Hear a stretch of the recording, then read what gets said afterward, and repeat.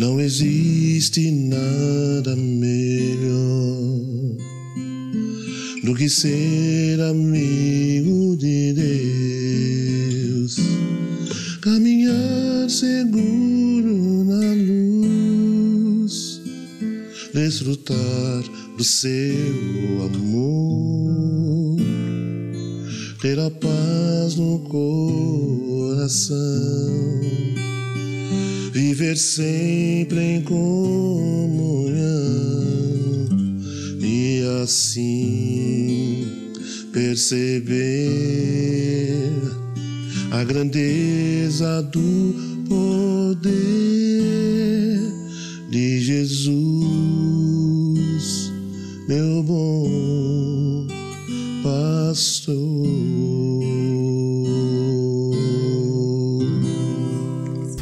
Ademar de Campos conosco hoje no Deus de Maravilhas.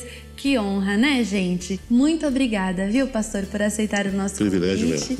Muito obrigada mesmo, viu? Estamos muito felizes e queremos conhecer um pouco mais do seu ministério. Sabemos que é uma longa, uma longa jornada com Cristo, né? É. Mas aquilo que a gente puder compartilhar nesse espaço de tempo possa edificar o nosso irmão de casa, eu tenho certeza que vai ser muito válido para a glória de Deus. Com certeza. Vamos começar então como que o Senhor conheceu a Jesus, como que foi esse chamado tão especial que o Senhor tem na sua vida. A minha conversão se deu num dia muito especial, que foi um sábado de carnaval.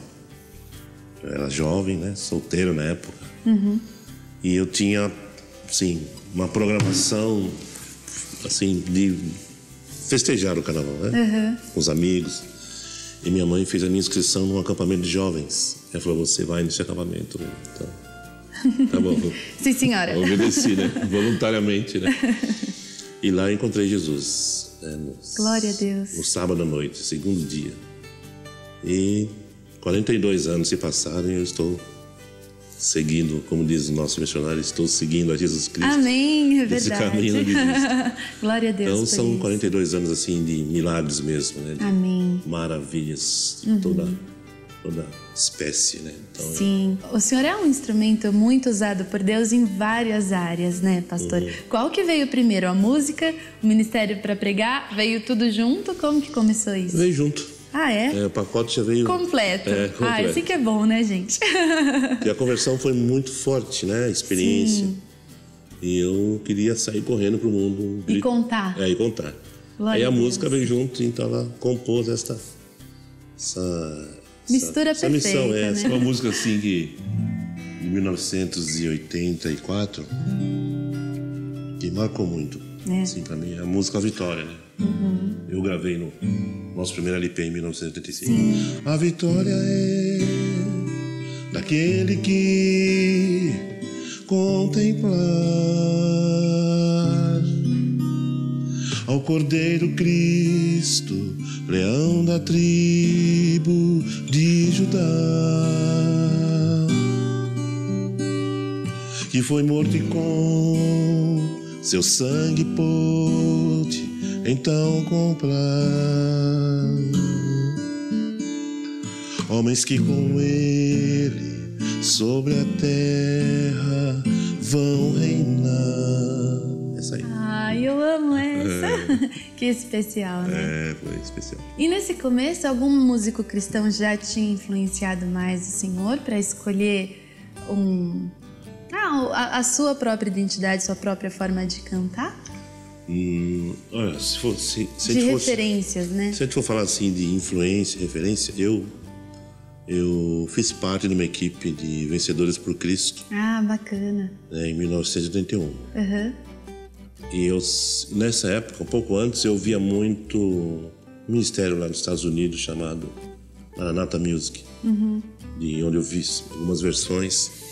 Então, o Maranatha, junto com os vencedores, foram assim ó, as minhas influências mais, mais fortes né, Entendi. naquele, naquele momento. Ai, que bacana. E quando fiz parte da equipe, né, de três meses viajando e sendo treinado, foi complemento desse processo todo. Glória a Deus, pastor. E desse período, qual é a, a- o milagre assim que o Senhor tem de mais marcante em relação à sua experiência com Deus? A gente sabe que lutas todos nós enfrentamos, é. né, diariamente, vemos o mover de Deus a cada dia nas nossas vidas. Mas tem alguma experiência mais marcante que o Senhor queira compartilhar? É, a, a, vida com Deus é uma vida de maravilhas, de milagres. Todo, você está respirando já é um milagre. Amém. É. Então, você acorda pela manhã, você sabe que você não está sozinho. Davi diz isso, diz isso no Salmo 139. Quando eu acordo, ainda estou contigo. Né? Então, eu sei que eu nunca estou só. Tem até uma música sobre isso. Uhum.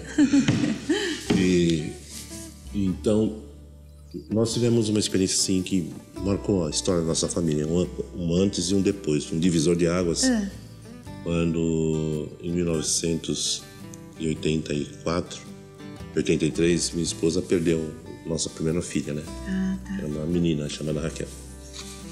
Eu, e nós somos, e com a perda dessa criança, ela nasceu, mas não, não resistiu, acabou morrendo depois de algumas horas. Uhum.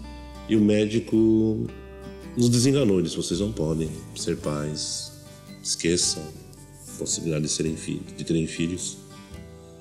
E nós fomos para casa, isso depois de vários exames que ele pediu e todos eles deram negativo e ele falou: eu não sei o que falar para vocês, mas é melhor vocês não, não tentarem. E nós fomos para casa e eu falei para ela: vamos orar e vamos pedir uma palavra a Deus. É palavra rema. E oramos por um, um mês e pouco. Em um determinado dia, o Senhor deu a ela diretamente o texto de Isaías 65, 17. Né? Uhum. E lá fala: Eis que faço novas todas as coisas. Eu trago para Jerusalém alegria. Não haverá lembrança das coisas antigas. Eis que faço algo novo. Né? Nela não haverá criança de poucos dias, nem velhos que não cumprem seus anos os meus servos não terão filhos para a calamidade, porque são a semente dos benditos do Senhor. Aí a palavra foi, nossa, que palavra. Já estava lá, eu nunca tinha. Uhum.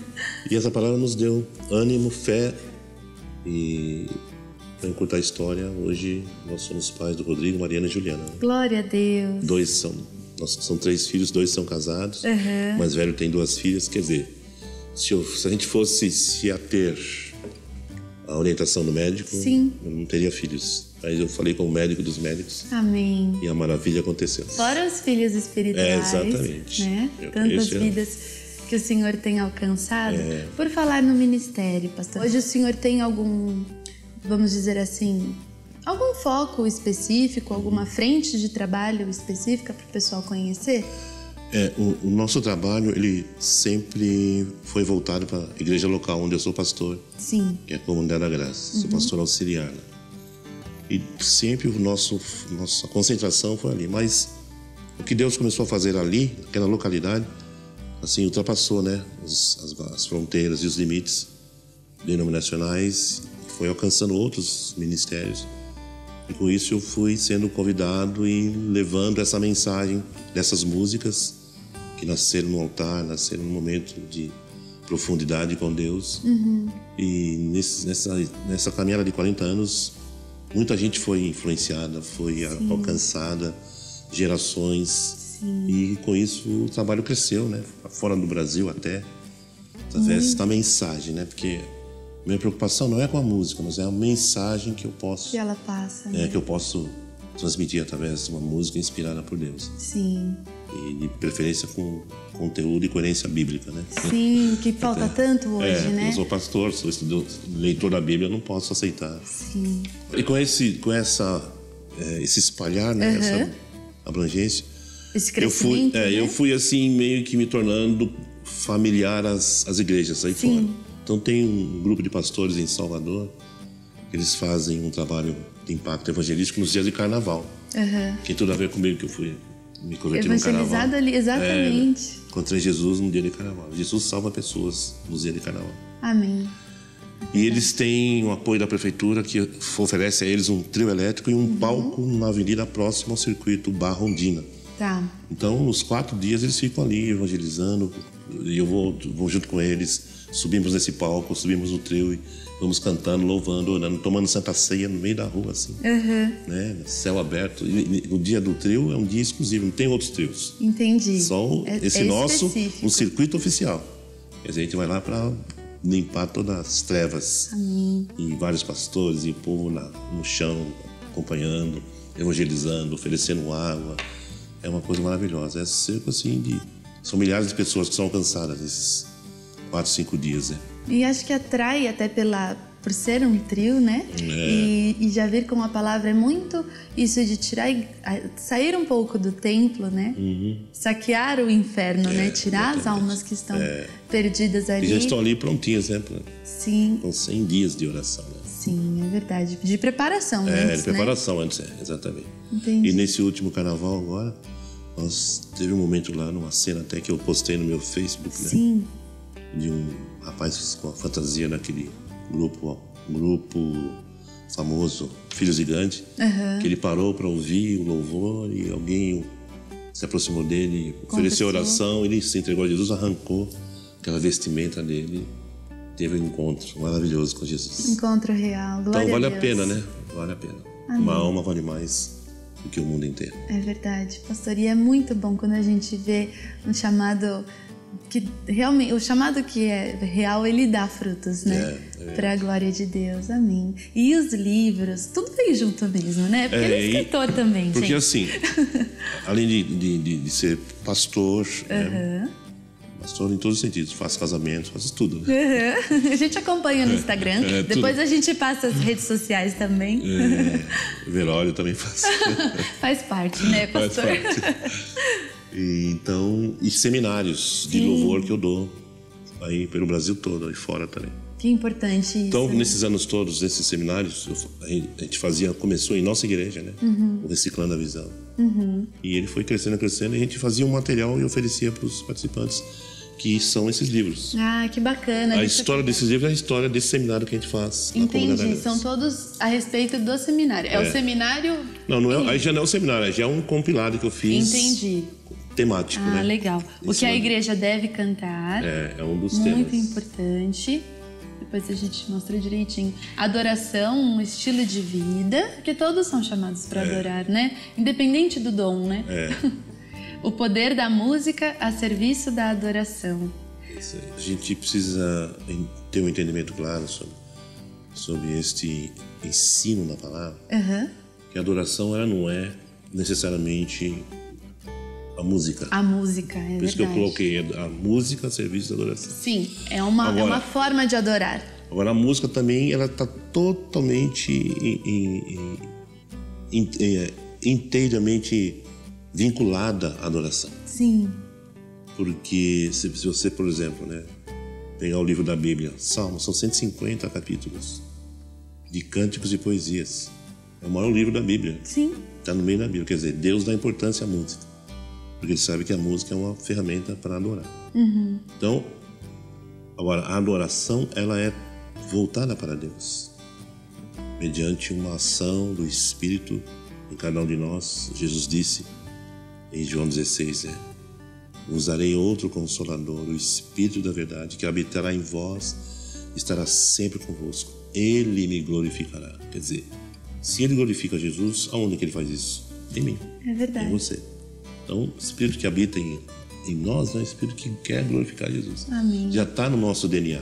Então, todos somos adoradores. Amém, é E verdade. a música é uma ferramenta para facilitar o processo. Ai, glória a Deus por isso. E adorar a Deus é de, de diversas formas, né? Como o senhor falou. A vida- Mas é algo que a gente tem que buscar fazer com excelência. A né? Bíblia coloca eh, alguns princípios que eu imagino, às vezes não, esteja, não estão claros para a grande maioria.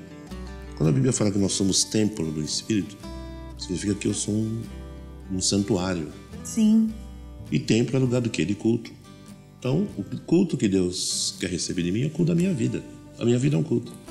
Eu estou aqui com você, eu saio dali para cá. Eu Em estou todo momento. sintonia, estou no tempo. Davi diz, louvarei, né? É. Ao Senhor em todo tempo. Quer dizer, todo tempo é culto. Seja nós, dentro das quatro paredes, seja na rua, seja na- no, no- no- veículo, você está na presença. exatamente. Essa consciência que a gente precisa E isso é muito Retomar, importante, né? Muito importante, porque as pessoas confundem que o culto é só na igreja, É, né? naquele que é só de marcado. domingo, É. que é só naquele momento que eu tenho que estar me preparando, que eu tenho que orar, e não é isso, É, né? não é, é o tempo todo. É antes, durante e depois. Essa intimidade com Deus é muito importante, né? Essencial. E aqui a gente tem a Bíblia também, né? Essa é uma Bíblia produzida por essa editora que Ah, faz os meus livros. Aham. E eu sou coordenador dessa Bíblia, é uma Bíblia de estudo sobre louvor e adoração, com Tá. comentários no meio das páginas. Ah, que bacana. Comentários bíblicos Uhum. é, escritos pela Ana Paula Valadão, por exemplo. Ah, tem legal. comentário dela, tem do Azaf, tem da Nívia, tem do Ronaldo Bezerra, Aham. tem do Ademar também. Bacana. E Só a outros, gente espera, é, gente? Daniel de Souza, um monte de gente. Acho que até a legal. Soraya deve ter também. A Soraya também? Que que sim, bacana. né? Que bacana, olha. E o CD, né? É, esse CD é o, é o mais recente, né? Não é tão recente, mas foi o último que eu gravei. Em família. Ademar de Campos em família, Uhum. porque uma história de amor. Então eu reuni meus filhos, a gente resolveu contar a nossa história de amor com Jesus Amém. através da música. Eles são músicos também, Ai, que bacana. se virar um pouquinho aí.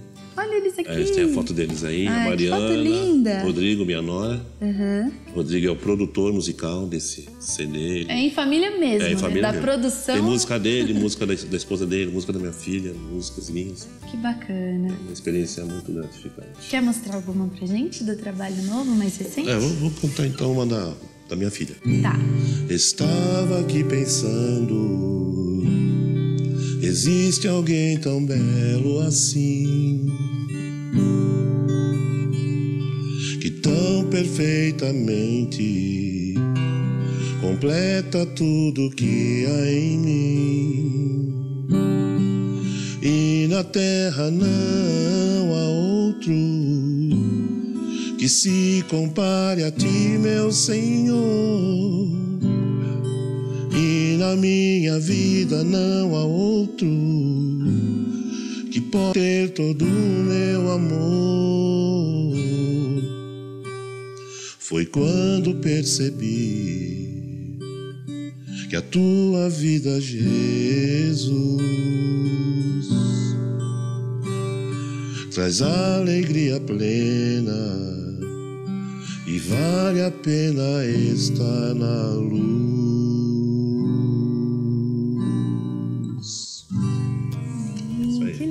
Essa canção. Linda declaração. É né? bem específico. Ela quem escreveu. É a Mariana que fez. Ai, e o pai deve morrer de orgulho. É, o pai. Estão dando os frutos, né, dele. A família é o primeiro ministério da É, gente, né, é verdade, pastor? é. Acho que deve ser muito especial vê-los como adoradores de Deus, Ainda mais em cima daquela promessa, né? Sim, O Senhor disse que nós não teríamos filhos para exato. calamidade, né? Então, estou colhendo fruto. Colhendo frutos e eles estão a serviço do reino. Tá. Acho que isso não tem preço para um pai, não, não né? tem, tem comparativo. Glória a Deus. Pastor, a respeito do, do, do seminário de adoração, eu acho que esse assunto é bastante importante para o pessoal Ah. de casa, porque falta bastante, como a gente conversou, essa Uhum. consciência de que adorar não é só no domingo, de que adorar não é só, é, enfim, música, né? é. Não é só cantar, não é só tocar. Às vezes a pessoa não tem um dom e acaba achando que não pode adorar a Deus, né? Uhum. Esse, esse seminário, se as pessoas de casa quiserem acompanhar, Ah, como que funciona para o pessoal ficar sabendo? Porque acontece, acontece o seguinte, eu me deslogo para as igrejas, para a cidade, enfim, Sim. para realizar esses- essas ministrações, né? Aham. Então, acessando lá o meu site, lá tem os contatos, Agenda. agenda, é tudo Ah, lá. tá. Então dá para ver a agenda e também dá para convidar Dá. o senhor para realizar esse Exatamente, ministério. é e esse, esse seminário, desculpa, o seminário ele é focado para os ministros de louvor da Pra- igreja? é pra todo, eu procuro fazer para toda a igreja. Que bacana. Há um momento específico só com os músicos, mas depois há uma celebração com toda a igreja. Às vezes uma- um café só com pastores também. A Entendi. gente quer alcançar de A a Z, né? Sim. E a igreja precisa de uma reforma mesmo nesse sentido. É, precisa né, porque a, a- a gente nova chegando, né? E elas precisam ser ensinadas. E eu acho que a demanda é, é muito grande e falta, falta ma- material humano para fazer esse trabalho, ainda mais num país do tamanho do nosso. Né? Exatamente. Então, por isso que eu resolvi também registrar nos livros para facilitar. Exato, e fica igrejas, para é, sempre, é, né? Exatamente. Um legado mesmo isso que o mesmo. Senhor deixa, né? Aliás, legado é o novo nome do projeto. Ah, que bacana, é? É. Legado. É. Lindo nome, deixa mesmo um legado muito especial. Legado né? 40. Em 2007 eu gravei o comemorativo de 30 anos, uhum. que é, é Comunhão e Adoração 6. Só já passaram 10 anos. Na verdade, quando eu gravei de 30, seria o correto, ajustando cronologicamente, 33. Ah, tá. Eu reduzi para Pra 30, 30 para ficar mais certinho. É, Mas... Exatamente. Uhum. E agora o de 40 tá aí, já está defasado, seria 42 também. Mas vai ficar então, mais esse exato. Ano, é, esse, é, ficar, esse ano, então, nosso plano gravar esse novo DVD um formato totalmente diferente. Ah, é? Não tem lugar nenhum. E é claro que eu não vou falar aqui. Né? Ah, surpresa. surpresa. Deixa suspense. Teremos alguns convidados Ai, também. que legal. E, e, e chama-se Legado 40.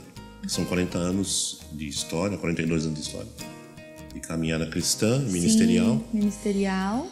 E, e nesses anos a gente recebeu de Deus uma, uma mensagem que Ele, Deus, transformou em valores Amém. e daí nasce esse legado, né? Amém. A partir da nossa própria casa, nossos filhos receberam a influência de tudo isso. Minha esposa é Sim. é pastora também. Glória a Deus. Então, só que isso extrapolou, né? Passou, se espalhou. Foi muito além do que vocês imaginavam. A gente tem filho para tudo quanto é lado. Aí. Sim, é, glória a Deus por falando. isso. Vamos aguardar ansiosamente. É, vem aí, legado. Legado 40. 40. Glória a Deus. Orem por isso também. Amém. Vamos orar. Pastor, o senhor tem ainda algum sonho no seu ministério que ainda não tenha sido realizado, que o Senhor ainda busca? O meu sonho ainda continua sendo o mesmo, ver é. esse país é... prostrado para Cristo, aos pés de Cristo. É. E a igreja influenciando o Brasil Amém. com uma adoração saudável, né? Sim. E a gente tem ouvido notícias tão ruins esses dias, né? Esses, esses dias aqui no Brasil, envolvendo evangélicos também, que não convém ao é caso mencionar. Triste. Sim, sim. Mas eu não posso deixar de sonhar, porque é, ser cristão é viver com esperança, né? Amém.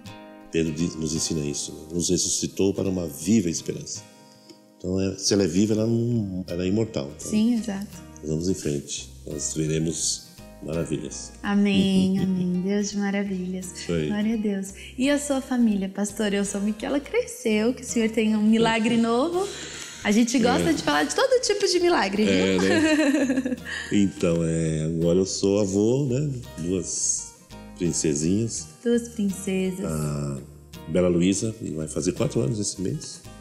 Abril, né? Vai fazer dia 21. Maria Luísa? Bela ah, Luísa. Bela Luísa. É. Que nome lindo. É, e ela é Diferente. bela Ah, imagina.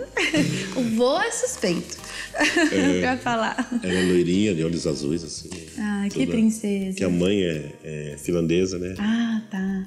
Loira, olhos, olhos claros. Então, uhum. Nossa, é uma combinação muito linda. Assim. Sim.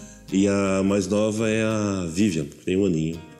Ai, que as gostoso. Duas, as duas irmãs. Agora tem uma outra filha, a, a caçula é casada, uhum. mora aqui, nós estamos lá na, na torcida. Esperando por, por um netinho. É, é, mais pertinho, né? É, com certeza. Isso. Pastor, deixa eu te perguntar uma coisa. Uhum. Com relação ao ministério ainda, uhum. é, existe alguma música, alguma outra canção? O senhor falou da Vitória, né? A uhum. Vitória é. Ela marcou algum momento específico? Início, é o início do. O início de tudo. Boom, é. é. Tem alguma outra que o senhor queira compartilhar com a gente? Tem a música da que eu acabei de falar, do Jó, né? Sim, bem supremo. É, né? bem supremo. Relacionada à perda da, da nossa filha Raquel. Sim.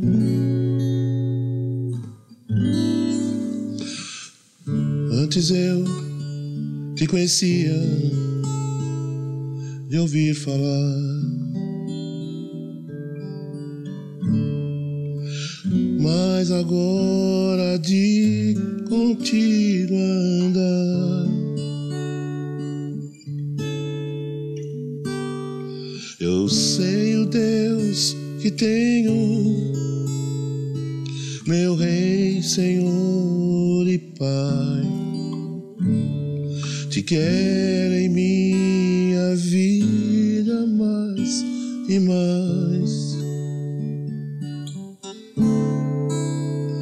sondas e conheces meu coração, Senhor. Sabe, sou limitado e conto com teu amor. Sendo, pois, teu filho, venho te dar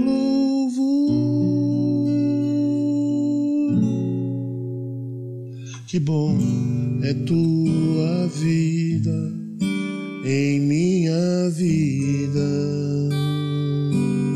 Amém. Glória a Deus. Eu amo essa canção. É, e a gente não combinou antes, viu, gente? Ela é muito especial para mim por causa da minha adolescência. Ah. Eu lembro que quando eu ouvi essa canção, eu falei: eu preciso conhecer o meu Deus, de caminhar com Ele. Né? E no sofrimento ele pegou ali na sua mão, né, pastor? É verdade. E fez tudo novo, como a sua esposa recebeu a palavra Foi. dele.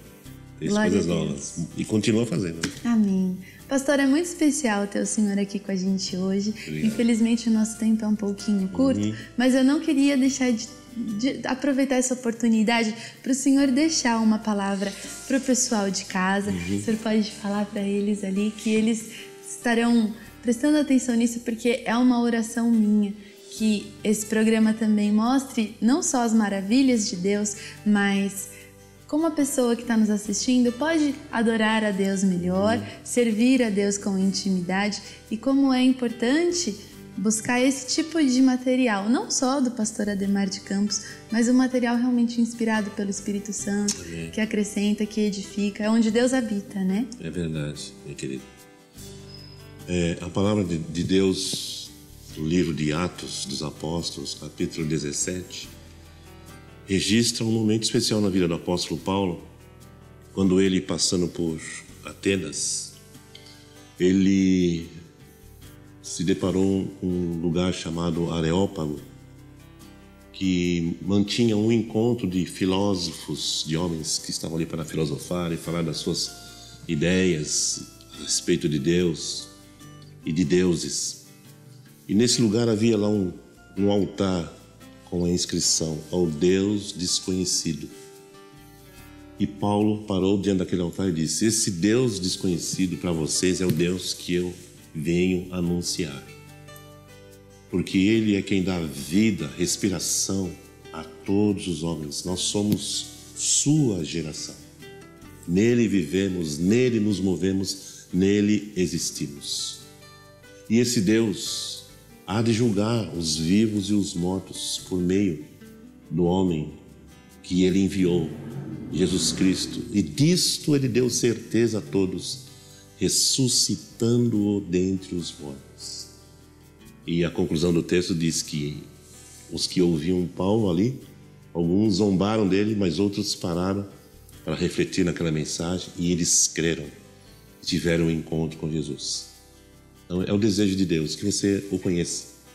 Talvez ele seja um Deus desconhecido para você, mas ele é muito conhecido no universo, nos céus, na terra, no coração daqueles que se abriram para ele, como aconteceu comigo, conosco aqui, e deu sentido à nossa vida. Né? Hoje eu sou, me considero um homem realizado em Cristo Jesus, ao lado da minha família, dos meus amigos, dos meus irmãos. Deus abençoe você. Conheça esse Deus de maravilhas, cujo poder é transformador, de dentro para fora. Não é estético, é interno. E se expressa também na beleza da obra de Cristo, no nosso exterior. Amém, amém. Glória a Deus. Essa é a palavra para o coração do pessoal de casa que está nos assistindo e para o meu coração também. Por isso Amém. quero te agradecer, pastor, grandemente por essa honra de conhecer mais da sua história, do seu ministério, das suas canções e que o Senhor Jesus continue abençoando a sua família, abençoando o seu ministério, Obrigado. que ainda dê muitos frutos para a honra e glória do nome dele, viu? Recebo. Muito obrigada, viu? Obrigado a você, Deus te abençoe. Amém. E obrigada a você de casa por estar conosco. Que você tome essa palavra no seu coração e viva todas as maravilhas que Deus tem reservado para sua vida. Um grande beijo e eu te espero no próximo programa. Até lá. Tchau.